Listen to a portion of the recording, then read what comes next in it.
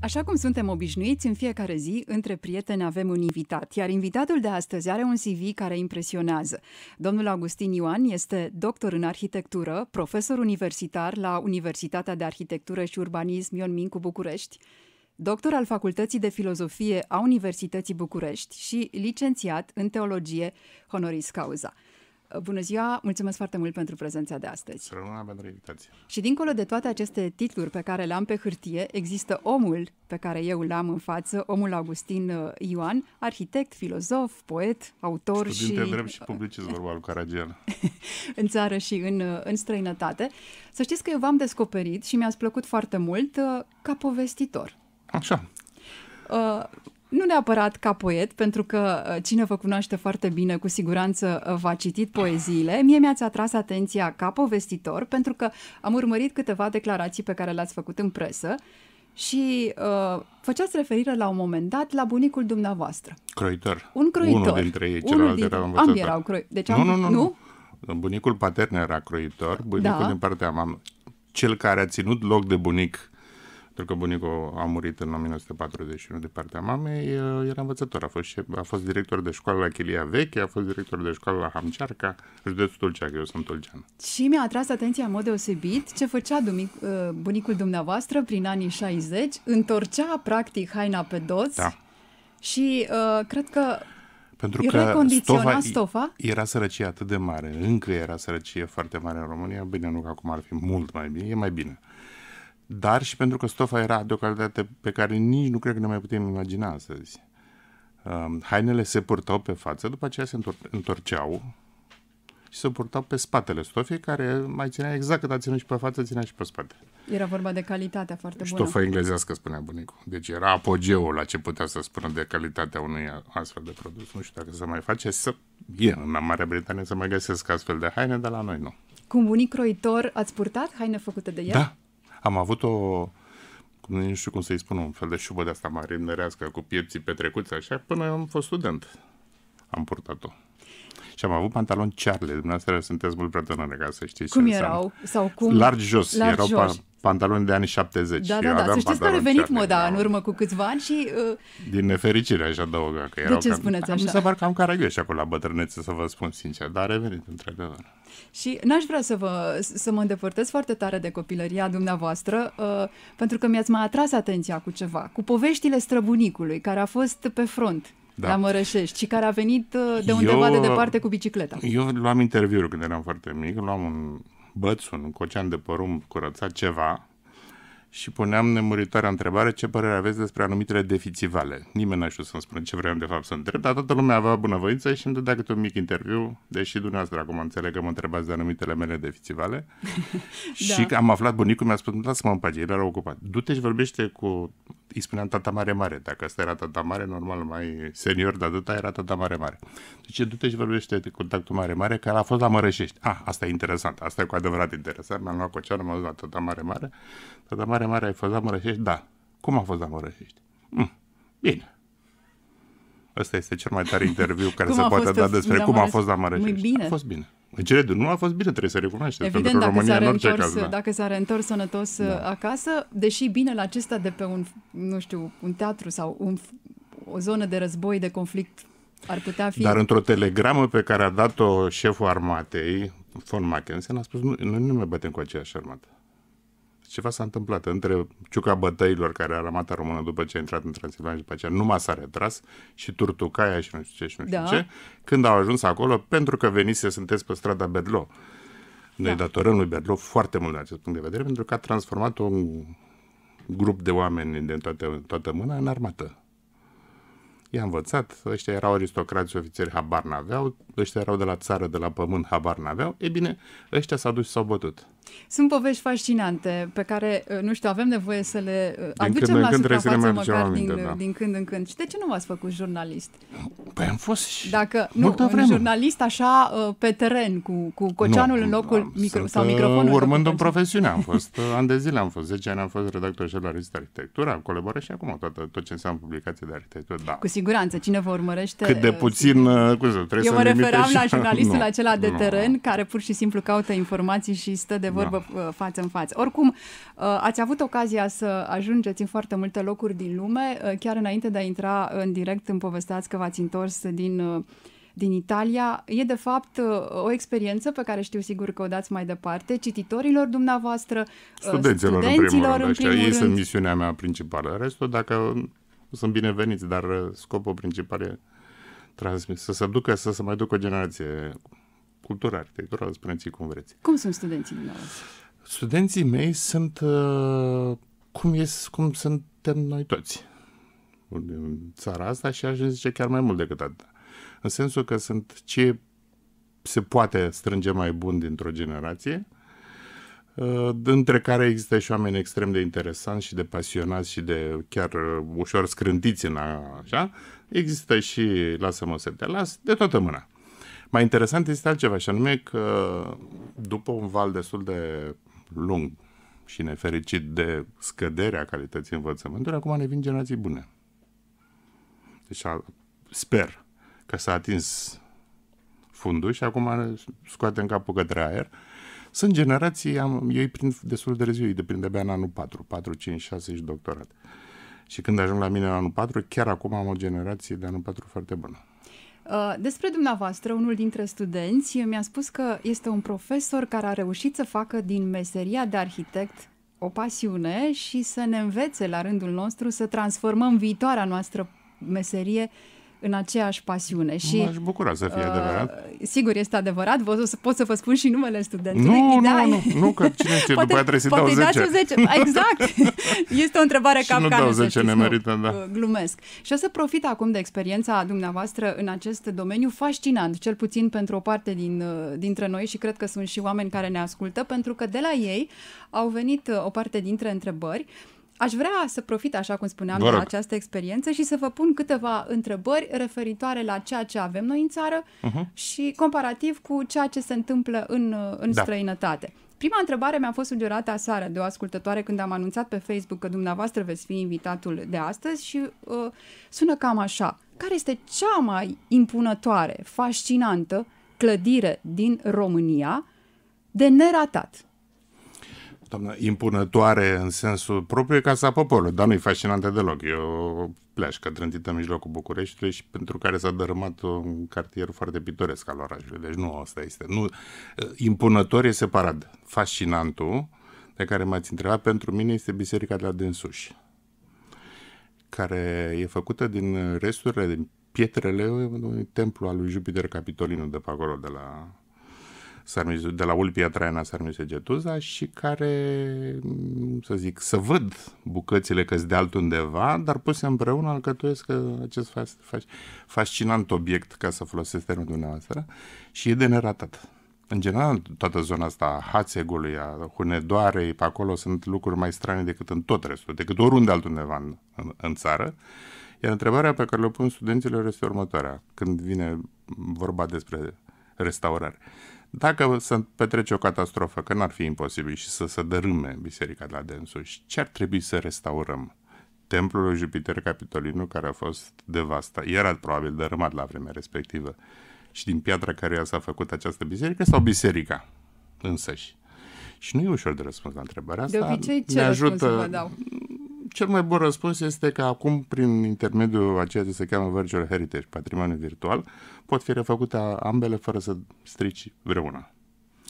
De asemenea, sunt foarte mulți oameni uh, care ajung în capitală sau care trăiesc aici la București, care sunt nemulțumiți de orașul în care trăiesc. Și au perfectă dreptate. Și există studii care spun că bucureștenii văd Bucureștiul ca fiind un oraș cu istorie și arhitectură săracă și se raportează distant la acest oraș și tocmai de aceea această raportare negativă a permis distrugeri din trecut și mixtiuni inadecvate în prezent. Cum vedeți acest uh, această stare de fapt, pentru că e o realitate chiar lângă noi. N-aveți dumneavoastră timp la România Actualități ca cu să vă spunem tot ce cred despre asta cu Bucureștiul, care este în momentul de față și nu de azi de ieri, ci de mai mult de 10 ani prost administrat. Acum nu mai administrat deloc, nici măcar prost. Dar depășim acest moment și spune următorul lucru. Bucureștii, că e la plural, da. este o federație, o adunare de tot felul de așezări Numai cartierul Floreasca e făcut pe un sat o groapă de gunoi, că dacă nu cumva chiar două sate și o groapă de gunoi, de pildă. Deci este o adunare, o agregare, o federare, poate e prea mult spus. De asta și trebuie să-l spunem la plural, că nu este un, nu e Tulgea, locul de unde mă drag, de este București, ca și Ploiești. Uh, și unde de toată mâna? Sunt lucruri de toată mâna. E și curte domnească, a fost și Brâncoveanu care a tăiat podul Mogoșoaie ca să meargă la palat, este și, și Mahalaue cu Țarida, Slavă Domnului, avem de unde alege. Din nefericire, găsim... da, din nefericire, această federație care așa s-a format, tânzându-se, a, a înghițit, a fagocitat tot, tot ce era în jur, nu are o gândire, nici o gândire fondatoare și nici o gândire cum să zic, coerentă pentru că, dacă mă întrebați care e soluția, un primul pas trebuia pornit cu o legislație a zonei metropolitane. Aici ar fi... Da. Pentru că relațiile noastre sunt Uh, cu zona din prejur, cu hinterlandul, nu? fostul sector agricol Ilfov, slash județul Ilfov acum, unde mulți s-au mutat sau de unde mulți provin și unde să petrece această migrație dimineața și seara, dimineața și seara. E un, dacă l-am, l-am vedea cum pulsează, da? e un oraș de 2 milioane și ceva care devine un oraș de 4 milioane în timpul zilei și iar devine și așa. Cu toate consecințele pe care le putem imagina și, și nu e administrat așa din nefericire, ceea ce duce la disfuncțiile pe care le știm. Una dintre, asta e una dintre soluții. După care este reorganizarea administrativ-teritorială a Bucureștiului, care e făcut pe ferii de tort în momentul de față, adică foarte puțin centru, sectorul 6 n-are deloc centru, dar toate celelalte au câte o bucățică. Centrul Bucureștiului, care are problemele lui, este împărțit în cinci. Când vine la vot cetățeanul din sectorul X, masat la periferie, în primul rând, că acolo e felia mare de tort și foarte puțin în centru. Ce probleme va, pro, va, va promite primarul că va rezolva? Pe ale lor de la periferie, nu pe ale din centru. Și de asta centrul este implodat și periferiile se expandează într-un ritm înfricoșător. Cum sunt fațadele blocurilor din cartiere, reabilitate în urmă cu câțiva ani? Cum vi se pare? Unele spictate, zici că s-a explodat uh, fabrica de la policolor de acolo le-au pictat care cum pe sectorul 4 mai cu seamă am văzut. Uh, altele sunt blocuri neconsolidate și care au fost uh, și acum apar noi, deși erau probleme structurale și vor cădea la următorul cu tremur. Blocurile făcute în toată această perioadă și nu intru iarăși un subiect dureros, să știți că au avut 50 de ani termen de valabilitate după care trebuiau făcute expertize, după care trebuiau făcute consolidări. Nu s-au făcut consolidări ca lumea 77. Nu s-au făcut consolidări în 85 sau 86 a fost un cutrem. În 90 era fost cutrem. Nu s-au făcut. Aveți câteva buline pe aici și prin jur pe la dumneavoastră. Da. Doamne da. ferește. Doamne uh, ferește până te lovește. Să, uh, să sperăm că lucrurile, dacă pot fi rezolvate, să fie rezolvate. Oricum, uh, sunt foarte multe întrebări. Uh, multe din clădirile din București, multe la număr, sunt în stare de ruină păi, pentru că proprietarii, din diverse motive, nu se, sau nu le mai pasă. Nu dați vina pe proprietari. Nu foarte, mulți proprietari, foarte mulți proprietari încă n-au ajuns în posesie sau au trecut pe la ei fluierând, numai pe la notar. Deci nu proprietarul este de vină, dar cine este de vină, domnul profesor? Doamna, pe, peste tot în lumea luminată asta occidentală către care ne uităm noi așa frumos, dar nu înțelegem nimica, uh, fațadele sunt ale orașului. Orașul are nevoie ca să vadă, să privească la o arhitectură frumoasă și ajută financiar. Uh, nu-i pui ăstuia după ce a exploatat, e confiscat bunicului lui sau nu știu cu ei confiscat, acum e de dar să nu cumva să nu restaurezi că te omor. De unde? Sunt uh, fonduri au început să vină, sunt pe monumente, mai cu seamă și așa mai departe. Dar sunt foarte mulți care s-au trezit cu obiecte din astea în brațe, care sunt peste capacitate și atunci le vând imediat pe niște, până nu ajunge la mână la care trebuie, nu se restaurează. Poate că uh, e corect sau nu o comparație cu marile orașe europene și cred că această corectitudine ar putea să vină din faptul că undeva, cândva, în istorie, Bucureștiul era considerat micul Paris. Uh, și, nu știu, aș la... Acum eu să vă spun că să nu trăim din asta cu micul Paris, că și Belgradul e considerat micul Paris al Balcanilor și cu mai multe îndreptățire decât uh, București. Nu se poate trăi foarte frumos sau foarte confortabil uh, din amintiri, dar putem să tragem cu ochiul la ceea ce se întâmplă în Europa. Eu am în minte unul dintre orașele fascinante pentru foarte mulți uh, români. este vorba despre Viena, mm-hmm. când, uh, nu știu, au fost uh, clădirile sau deasupra clădirilor uh, au apărut acele mansarde, o arhitectură contemporană care poate nu are nicio legătură această arhitectură cu ceea ce arhitectura orașului Viena și dacă greșesc, să nu, mă nu contraziceți greșiți, dumneavoastră. Nu greșiți și acolo pentru că sunt regulamente de urbanism și de legate de restaurare sunt extrem de stricte. Vă spun, nu avem timp acum să vă aduc argumente.